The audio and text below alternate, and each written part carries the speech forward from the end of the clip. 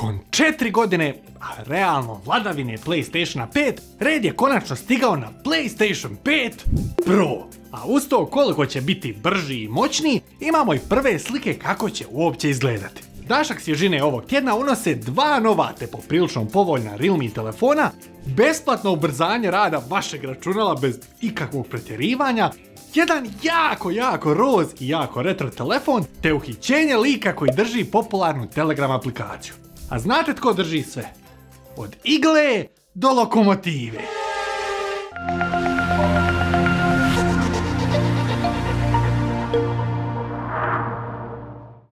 Mislim, stvarno zvuči kao šala ili neka obična marketinška priča, ali bome ovi imaju svega. Od sata, preko romobila, do tableta, do tableta, usisivača, pročišćavača zraka, grijalice, mislim šta da vam kažem, šta god vam padne na pamet, mi to ima. A kod HT Aeroneta u smart tarife, na rateci lako možete priuštiti doslovno sve. Opet ponavljamo, digle do lokomotive. Tu je akcija na Redmi Note 12 Pro s 256 GB memorija, teško da ćete ga igdje jeftinije naći, pogotovo na rate. A od njega vas dijeli samo klik ili dodir na link u opisu videa.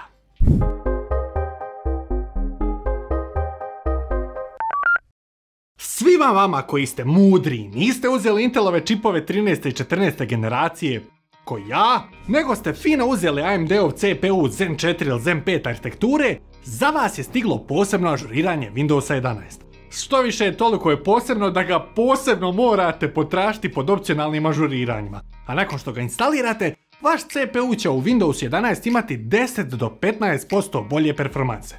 Bolje performanse će svakako stići s Windowsovim 24H2 ažuriranjem, ali da si AMD spasi obraz kad su se ljudi pomalo razočarali s novim čipovima, bacili se u suradnju sa Microsoftom da ovo srede što prije. Pod bolje performanse mislim da će vam CPU bolje vrtjeti igre, a to je jedino bitno, jel tako? A bitno je to da se odmah sada spustite zasjenost boja na ekranu, jer ova vijest, blago rečeno, bode oči. AMD, koji više izgleda ne želi ništa imati s Nokia brendom, je ovog tjedna lansirao svoj rozi, ma šta rozi, najroziji Barbie telefon. Riječ je o klasičnom preklopniku s dva ekrana, Unisoc T107 čipom, 64 MB rama, kad ste zadnji put nešto ovako čuli, te 128 GB, ne ne ne, megabajta interne memorije koja se začudo može proširiti karticama. Tu je i VGA kamera, ulaz za slušalce, milju i pol amper satna baterija te S30 plus operacijski sustav, su pretekli Samsung za 10 telefona. Tko želi da se njegov telefon od rozine, ako je to uopće riječ, vidi svemira te da na njemu uglavnom priča i šalje poruke, možda i sluša glazbu, za Barbie fon će izdvojiti 130 eura. Bar u pakovanju dođe svakakvi džiđa miđa, ali nakon Heineken telefona da netko izda Barbie telefon. Šta je sljedeće? Oppenheimer telefon, radioaktivan. pa ćete kupiti Bytebox telefon. A za sve vas kojima su se zgadili Whatsapp, Viber ili Viber, Messenger, iMessage, Telegram je poprilično solidna opcija. E pa još su solidnije uhapsili šefa Telegramov Telegram servisa Pavela Durova koji je nakon sljetanja u Francusku odmah završio iza rešetaka.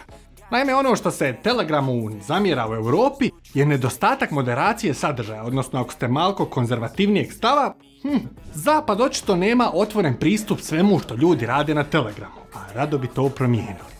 Još nadodajte na to da je Pavel inače Rus i dobijete 5 milijuna eura jamčevine nakon koje je pušten. Trudim se da ne ulazim u politiku svim svojim silama, ali ovo mi se malko više čini kao političko natezanje istoka i zapada nego moderacija telegrama da se preko njega, ne znam, ne trguje zabranjenom robom, kidnapuje djecu ili tome slično. Nakon što je Realme predstavio poprilično impresivne Realme 13 Pro i Pro Plus telefone, stižu i 5G varijante njihovih jeftinijih telefona. Realme 13 5G i 13 Plus 5G su telefoni koji su u svakom pogledu stvarno solidni. Tu su 120 Hz AMOLED ekrani, fantastični dimenzijski čipovi, oba telefona su djelomično otporna na vodu te im cijene u Indiji startaju od 210 eura za Realme 13 5G, a 270 eura za Realme 13 Plus 5G. Kamere im standardno imaju solidne glavne senzore na stražnjoj strani i par dodatnih kamera koje nisu posebno zanimljive. Ali mi je posebno zanimljiv marketing iza ovih telefona. Da raščistim, ja volim Realme brand, te mi je Realme 6 Pro jedan od najdražih telefona koje sam ikada imao. Ali, Realme je među prvima koji eksplicitno među specifikacijama svojih telefona ne naglašavaju koliko točno pravog rama imaju.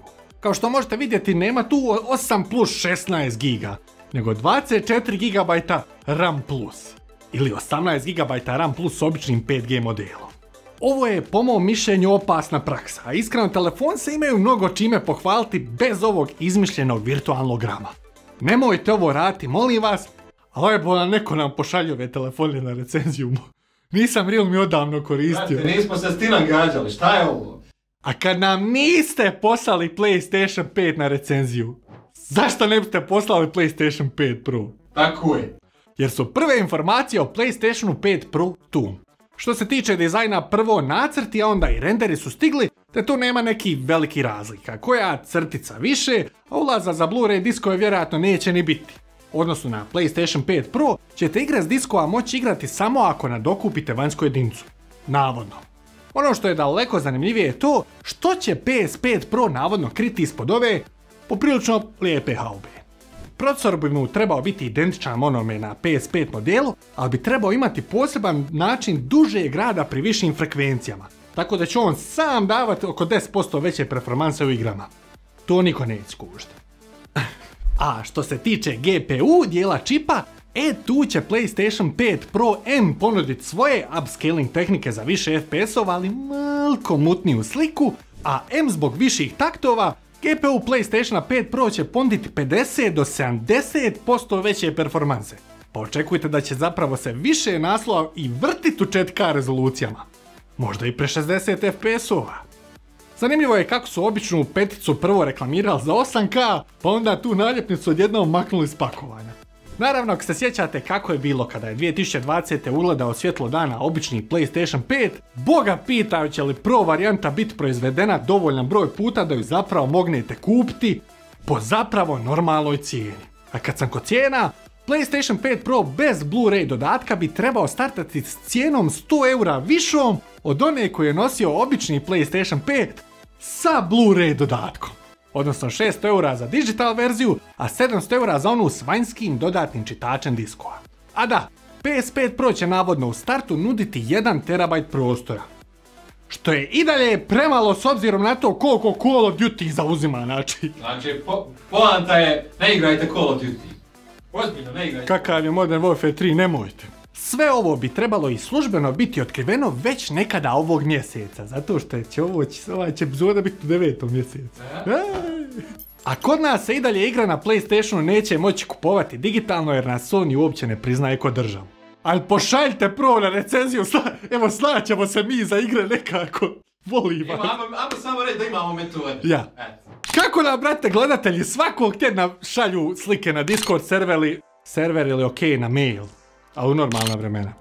A ovog tjedna pitanje za vas je sljedeće. Imate li PlayStation 5 i planirate li barem radi GTA 6 kupiti PlayStation 5 Pro? PC ili konzola, ajde da vas čujemo u komentarima. Steam Deck pa, A vi čujte i počujte kako je koristi Huawei telefon unatoč svim ovim zabranama i prepinjana, prepinjanima, prepiranjima istoka i zapada. Te do idućeg puta, čujemo se u komentarima. Dok mi nije nestalo baterije na mikrofonu. Potvrđujem da još nije nestalo.